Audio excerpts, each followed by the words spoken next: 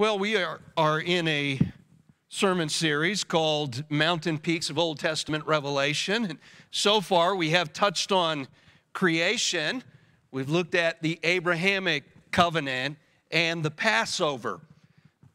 this is a little different from what we usually do here because this is more of an overview, just hitting the highlights.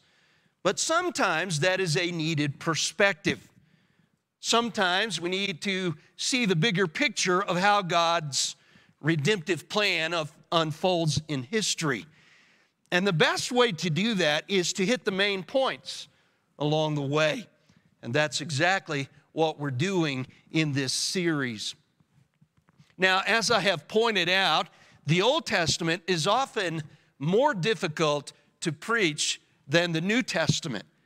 This is true for several reasons. One, because it was written in Hebrew and Aramaic instead of Greek, which is a more difficult language.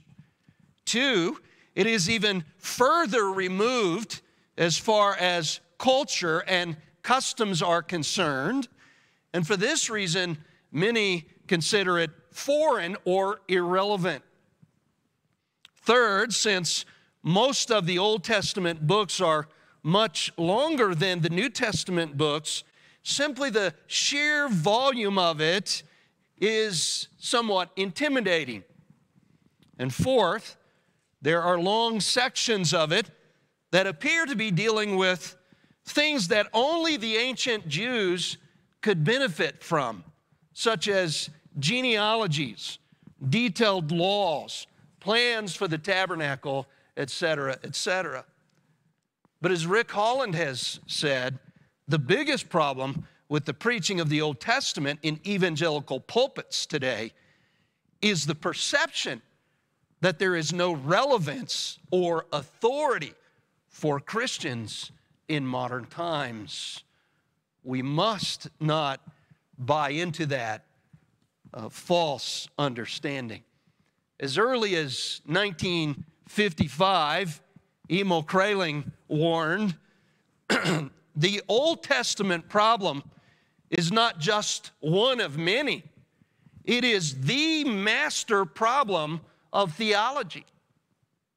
And I believe that is true because a neglect of the Old Testament or a misuse of the Old Testament has created more divergence in theological understanding than perhaps anything else. And as I have said, it's very important for us to understand the whole counsel of God.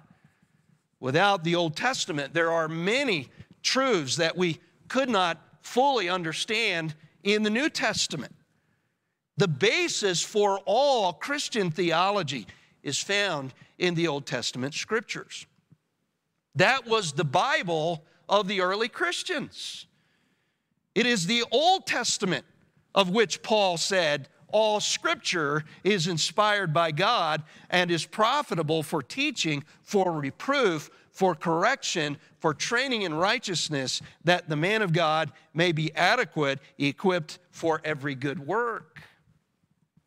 In fact, as Walter Kaiser writes, the designation Old Testament is in itself anachronistic for nowhere in the first 39 books of the Bible does this term occur. Actually, it was the Alexandrian church father, Origen, who gave us this nomenclature based in part on God's promise in Jeremiah 31 31 of a new covenant. Hence, his New Testament designation. And so he designated the Old Testament and the New Testament all came from Origen. but Kaiser says both the label and the translation are misleading. It is only ecclesiastical convention that dictates our continued use of this term for that group of biblical books that the Jews referred to as the writings, the scripture and the law and the prophets. The whole point is that the early Christians did not consider the Old Testament scripture to be any less God's word than the New Testament.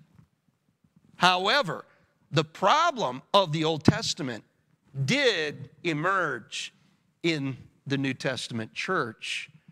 Right in the book of Acts, we see where the believers from Antioch were confused about how the Old Testament scripture fit in with the message of the gospel. And in Acts 15:1 we read, and some men came down from Judea and began teaching the brethren, unless you are circumcised according to the custom of Moses, you cannot be saved. And these men were, of course, the Judaizers. And they took a certain position on how the Old Testament law was supposed to fit in with the New Testament gospel. Unfortunately, their position was not the right one.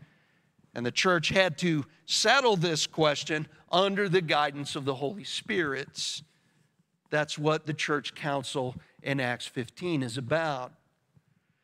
But the point here is that they were wrestling with this whole issue of how the Mosaic law fits with the message of the gospel of grace. And you know what? People are still wrestling with that today. In fact, one of the reasons why we have so many denominations is because people have come to different conclusions on this issue. How does the Mosaic covenant fit with the New Testament gospel? That's the question. Now, I was intending to go to Exodus chapter 20 this evening and deal with the Ten Commandments. But I think we're going to have to wait one more week for that because we really need to lay a foundation before we do that. You see, the Ten Commandments are really part of something bigger. They're part of what is called the Mosaic Covenant. and what is summarized in the Ten Commandments is expounded upon in the rest of the delineation of the Old Testament law. And I have decided that what we really need to do this evening is to give kind of a big introduction to the Mosaic covenant. This is not going to be a normal sermon. But I believe it is critical for us to understand some very important issues related to how the law fits with the gospel.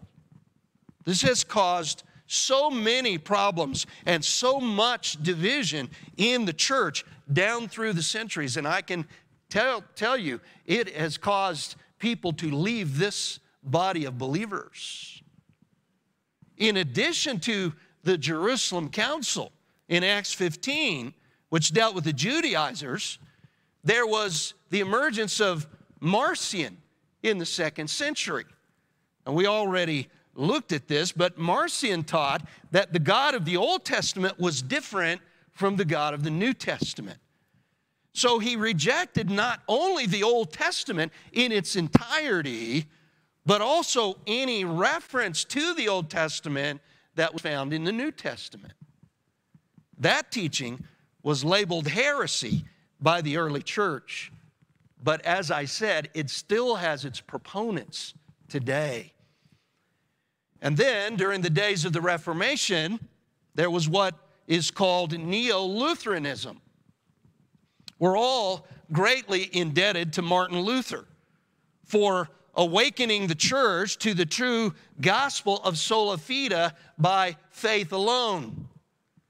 Really, Luther's position was that salvation was by grace alone, through faith alone, in Christ alone. And you hear me give that statement many, many times. It is that little word sola, alone, for which many of the reformers gave their lives. And we strongly affirm that here at Parker Bible Church because that is the biblical gospel. In contrast, to the faith and works mix of the Catholic concept. But the problem was that Luther was so strongly against Roman Catholic understanding of the gospel that he began to equate their approach to salvation with the Old Testament law. And so, as a result, many of the early Protestants developed a great disdain against the Old Testament. And this is often the case today. There are people still today, especially those of re- the Reformed tradition, that reject any emphasis on the Old Testament. Then there is what is known as theonomy, and that's kind of the other extreme. It has become popular in many circles today, especially uh, Christians who are involved in the political arena. Radical theonomy is the idea that God's governmental rule in the Old Testament law is intended to remain the blueprint for reforming the world today. For theonomists, the concept of continuity between the Old Testament and the New Testament becomes the guiding principle for interpreting the Bible. And in these churches, the preaching of the Old Testament law is primary. If you go in one of these churches, that's what you're going to hear. Constantly, you're going to hear the teaching of the Old Testament law. It is the Old Testament law that is believed to be the secret to revival and reformation, not only here in the U.S., but around the worlds.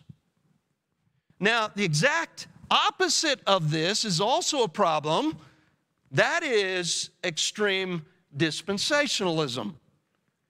Extreme dispensationalists divide history into divisions, and for them, discontinuity becomes the hermeneutical key. And what happens for extreme dispensationalists is that the Old Testament law becomes relegated to the age of law, and the New Testament is then seen as the age of grace. What's the problem with that? Well, the problem is, according to Scripture, there is grace in the Old Testament period and there is law in the New Testament period. You just can't neatly categorize things like this. And just so you know, we here at Parker Bible Church are mildly dispensational. That I don't know if that's uh, our official position, but I think that's probably where we fit. In our doctrinal statement, we explain that we are dispensational to the extent that we see a clear distinction between Israel and the church, and we believe in a literal 1,000 year millennial kingdom. So, at least to that degree, it makes us dispensationalists. But you're probably already wondering about tonight's sermon. In fact, you may still be wondering at the end of it, because we're not even going to get to a specific text tonight.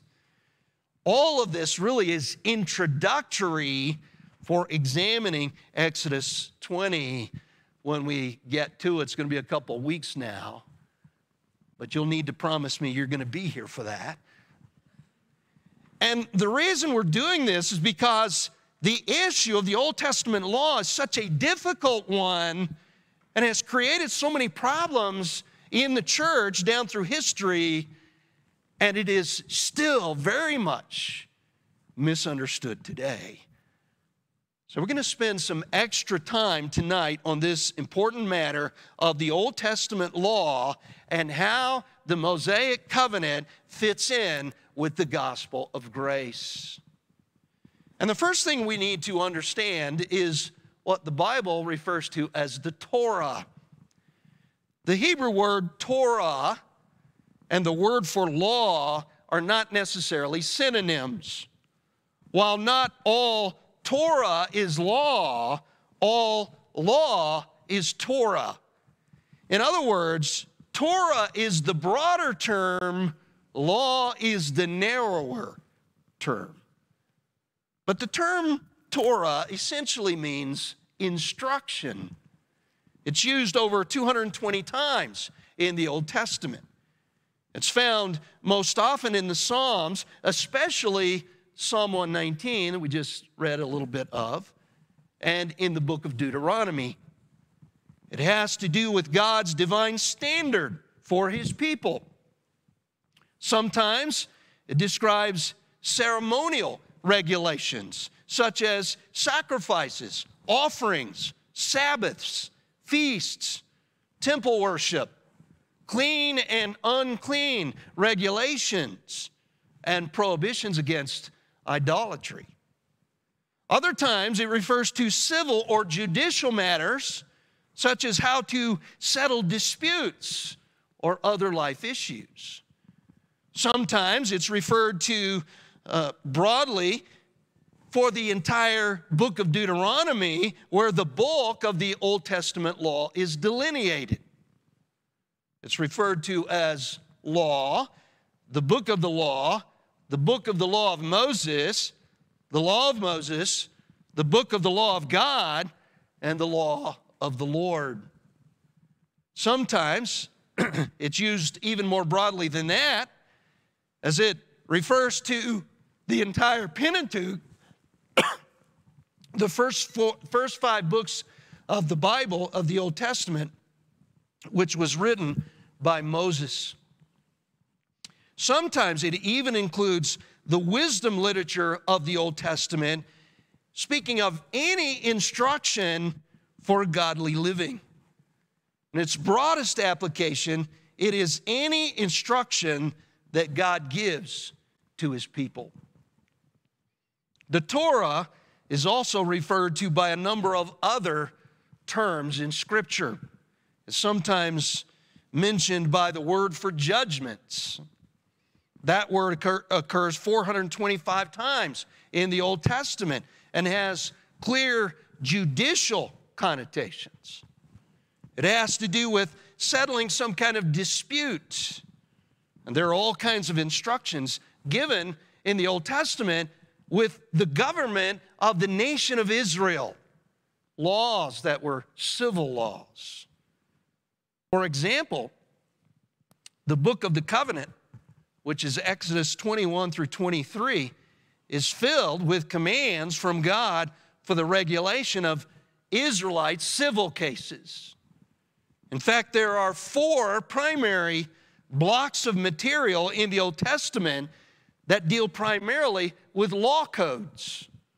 They are, of course, the Ten Commandments, but also the book of the covenant, Exodus 21 through 23, the holiness code, Leviticus 17 through 25, and the stipulations of Deuteronomy chapter 12 through chapter 26. These four blocks of legal codes, if you will, in the Old Testament.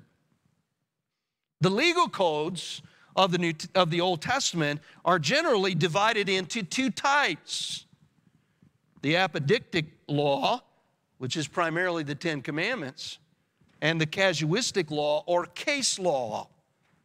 And the main difference between the two is that case law is in the form of if this happens, you do this, whereas the apodictic law is in the form of you shall or you shall not. Casuistic law is usually in third person, is governed by a specific situation, often contains long explanatory comments, and usually identifies the consequences for failing to comply. Apodictic law is usually in the second person, gives a statement of principle, commands without comment, and doesn't usually, usually state the consequences. Now, I'll give you an example of both. Turn with me for a moment to Deuteronomy 15. Deuteronomy 15.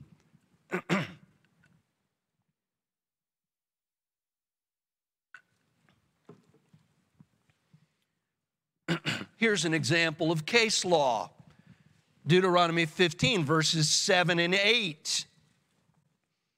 If there is a poor man with you, one of your brothers in any of your towns in your land which the Lord your God is giving you, you shall not harden your heart, nor close your hand from your poor brother, but you shall freely open your hand to him and shall generously lend him sufficient for his need in whatever he lacks. So, this is a case where uh, if there's this situation, this is what you're commanded to do. An example of apodictic law is Exodus 20 and verse 3. You don't have to turn there, but it simply says, You shall have no other gods before me. Another word that is used often is the word ordinances, which occurs 229 times in the Old Testament. This had to do with something that is permanently preserved. There's an ordinance, and this is a permanent thing. Then there's the word stipulations. It is connected with the concept of covenant or testimony. And this term emphasizes that the law is the seal of the Lord's covenant with Israel. Two other terms are important. There is the word commandments, which is found 181 times in the Old Testament. And there's the, the term words, which serves as a technical reference to the Ten Commandments. All of this is part of the Jewish understanding of the law.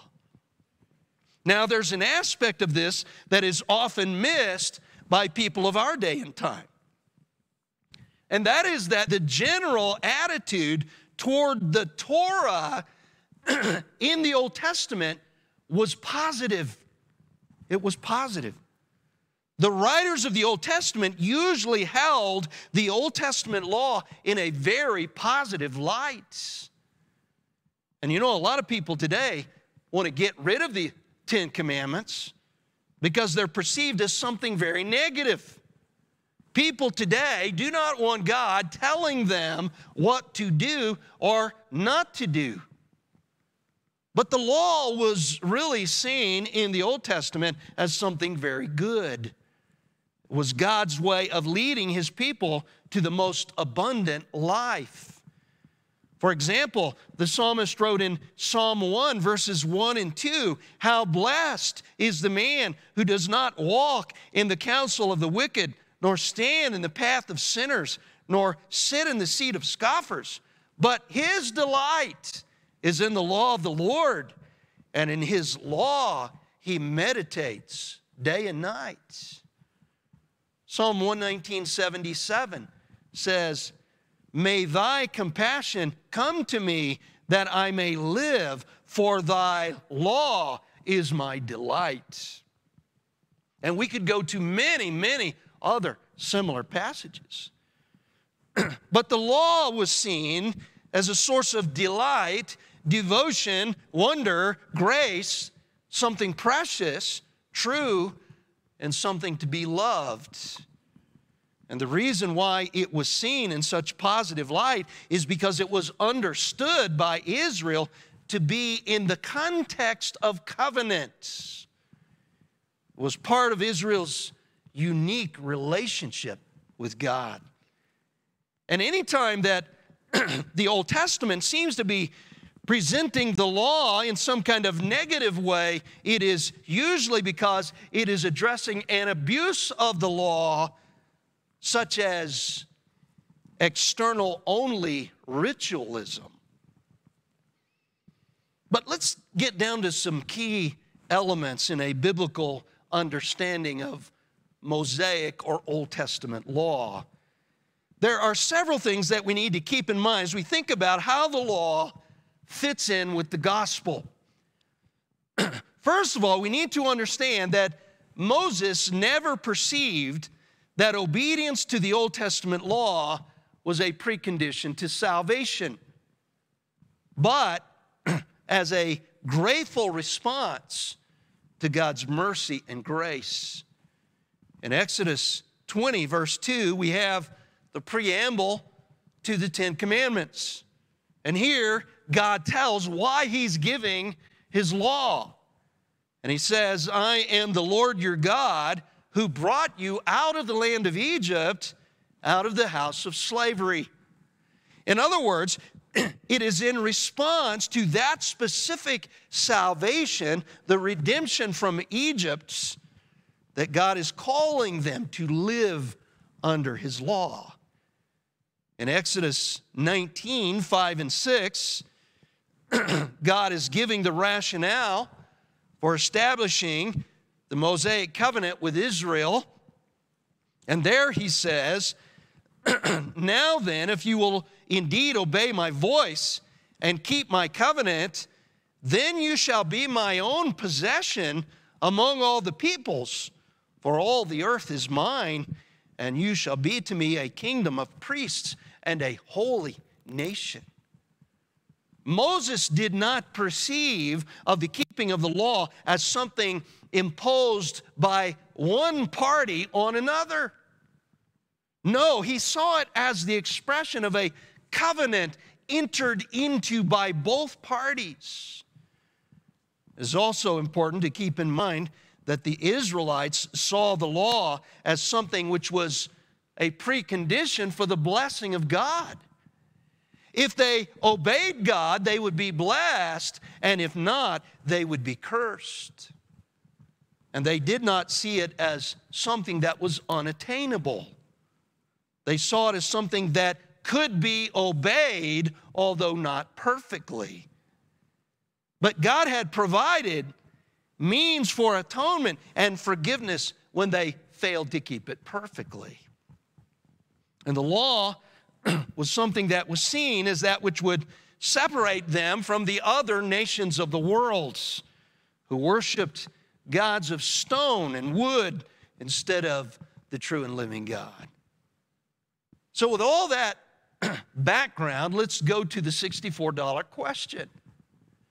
Are New Testament believers required to live in accordance with some or all of the Mosaic Law? Do the Ten Commandments apply to Christians today? And if so, in what way? That's what we want to know. And there are essentially five positions on this. Just like everything else, we have to develop our own little position on it theologically. There are five positions on this. I'm not going to spend a lot of time on these tonight, but I at least want you to know what they are. I want you to know this, first of all, because I want you to understand that this has been a very difficult issue historically in the church. And there is still today not total, total agreement on it. And I want you to know this also because as we approach the Ten Commandments next time, I want you to understand that the simplistic way which many people look at the Ten Commandments is not necessarily a biblical perspective. And this whole debate revolves around the question of continuity or discontinuity. You've heard me talk about that before.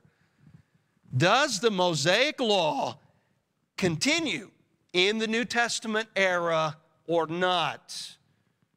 Does the Mosaic Law continue into the New Testament era or not.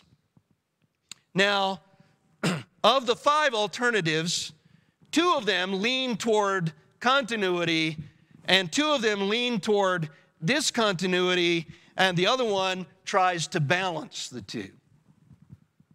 First of all, leaning toward continuity, there is the theonomic reformed approach.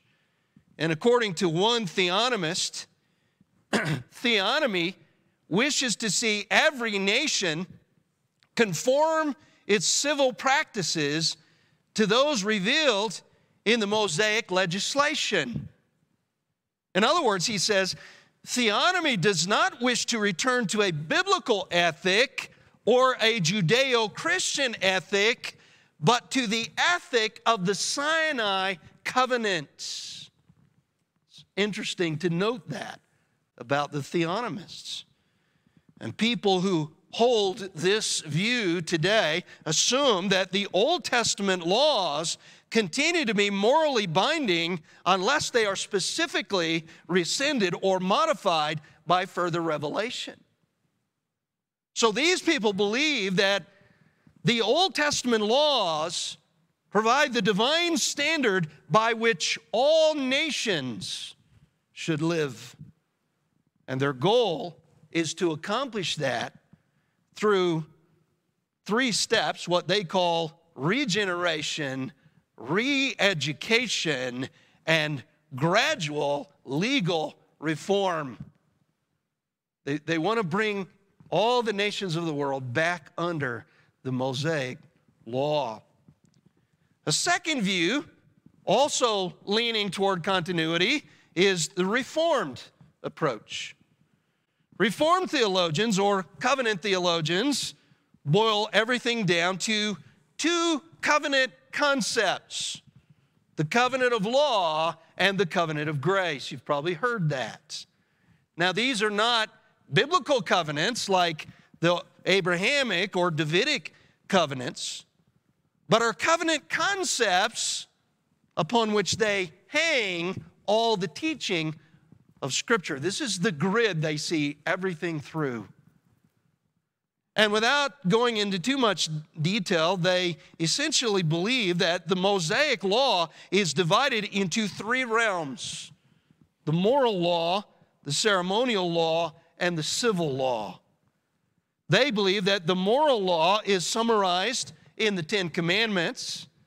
The ceremonial laws had to do with things such as sacrifices, the priestly system, etc., and have been abrogated with the coming of Christ. And the judicial laws have to do with specific case laws for governing, governing Israel, and they also have been done away with because of Christ. The third view, leaning toward discontinuity, is the modified Lutheran approach. Lutheran theology has generally emphasized a great contrast between the law and the gospel. And those who hold this view believe that the entire Mosaic law has now been done away with because of Christ.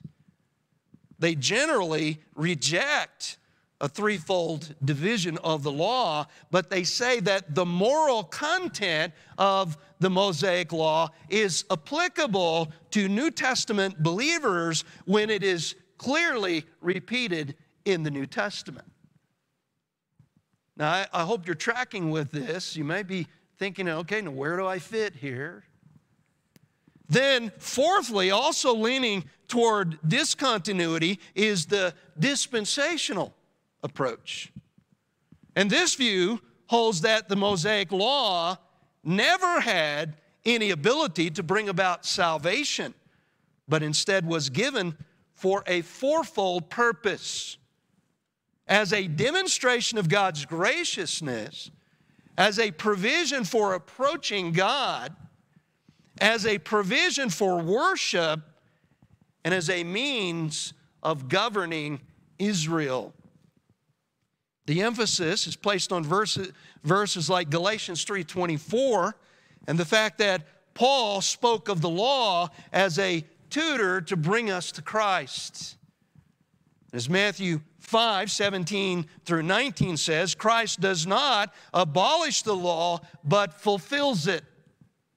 And as Romans 10 4 says, Christ is the end of the law for righteousness to everyone who believes. Now, there's a fifth view that attempts to balance continuity and discontinuity. And the primary proponent of this view is Walter Kaiser. He acknowledges a nat- national future for Israel, but he sees some points of continuity between the Old Testament and the New Testament that many dispensationalists would reject. Kaiser says that Christ is the goal or purposeful conclusion of the Mosaic law. In other words, he's saying the same things that Paul said that the law points the sinner to Christ. He does accept the threefold division of the law moral, ceremonial, and civil. And he says that the weightier matters of the law, Matthew 23 23, are the moral aspects which the Lord sets above the ceremonial and the civil aspects. He says that when the new covenant promises to place God's law in the heart of those who participate in that covenant, that it is the Mosaic law in particular that is placed in the hearts. Jeremiah 31 33. You say, Preacher, what's your view? Well, I don't know where I fit on the scale. But I believe there is both continuity and discontinuity between the Old Testament and the New Testament. I also believe it is valid to divide the Mosaic law into three categories and to recognize that the civil and ceremonial aspects had to do with the nation of Israel in the Old Testament and are no longer in force for New Testament believers.